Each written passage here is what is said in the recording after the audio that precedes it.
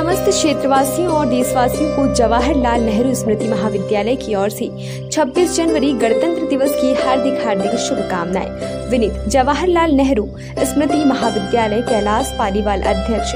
शासी निकाय प्रबंध समिति हमीर सिंह चंदेल सचिव शासी निकाय प्रबंधन समिति पंडित मनमोहन प्रसाद मदगल अध्यक्ष सुहागपुर शिक्षा समिति